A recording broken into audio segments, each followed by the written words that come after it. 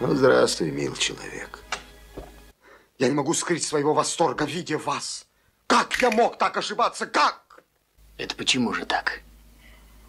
Есть у нас сомнение, что ты, мил человек, стукачок.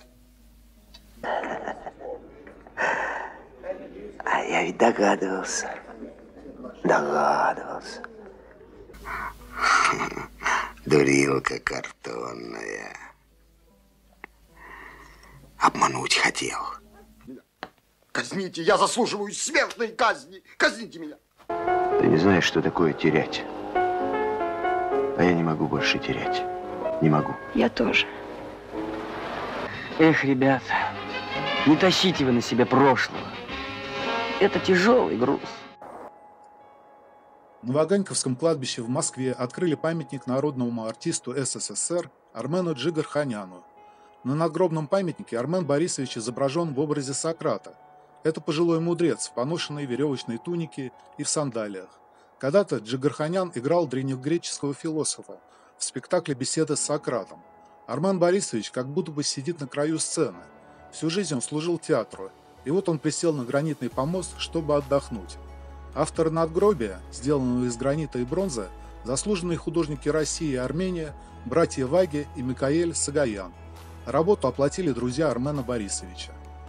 Армен Джигарханян скончался 14 ноября 2020 года. Ему было 85 лет.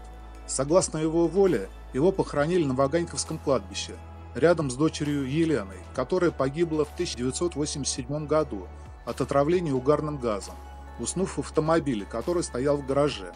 Ее памятник пришлось демонтировать, реставрировать и установить заново. Армен Борисович Джигарханян родился 3 октября 1935 года в Ереване. Происходил из старинного рода тифлисских армян.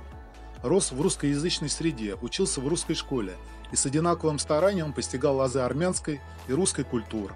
С 1955 по 1967 год работал в Русском драматическом театре имени Станиславского в Ереване. В 1967 году был приглашен Анатолием Эфросом в Московский театр имени Ленинского комсомола, где играл в спектаклях «Мольер», «Снимается кино», «Дым Отечества» и других. С 1996 года актер в труппе театра «Ленком». С 1991 по 1996 годы преподавал актерское мастерство в Авгике – в 1996 году на основе своего курса основал Московский драматический театр под руководством Армена Джигарханяна. Его театр сразу занял особое место в ряду маленьких театров Москвы. Помимо этого, Джигарханян был занят в интерпризных спектаклях.